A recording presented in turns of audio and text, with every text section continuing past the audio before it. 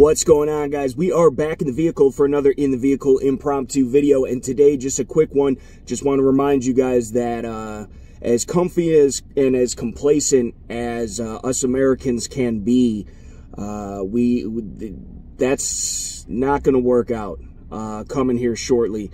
Things are only going to get worse before they get better and uh, unless we have enough people standing up and speaking out and doing their part they might not ever get better. Uh, I'd hate to see that. I'd hate to think that here in this country uh, of all these amazing Americans. Um, but we got to put in the blood, sweat, and tears. Okay, you know, they, it's serious. Beans, bullets, band-aids, you should be stocking up. You should be prepping. It doesn't matter the price at this point. You need to get what you need to get before it's too late because at any given moment, it might not be available at all, no matter what the cost.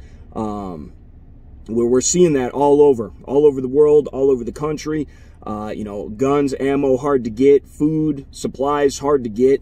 Okay, this is only going to get worse, and especially if we go to freaking war.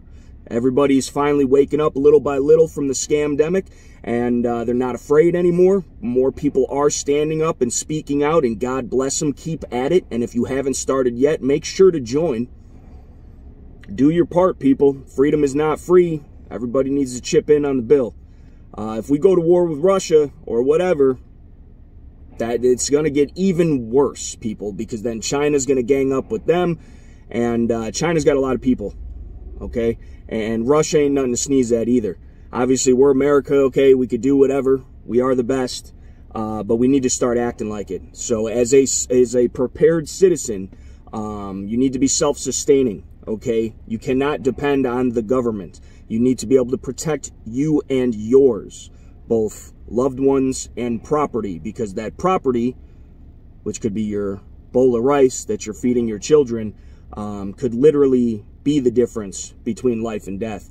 Um, don't ever want it to come to anything uh, forceful in the least bit on either side. But understand that that is why we have our rights and our rights are not given to us by the government. They are just reaffirmed by the constitution which is an outline of rules that the government is supposed to follow. People forget that. People also forget the true intended reasoning behind the second amendment.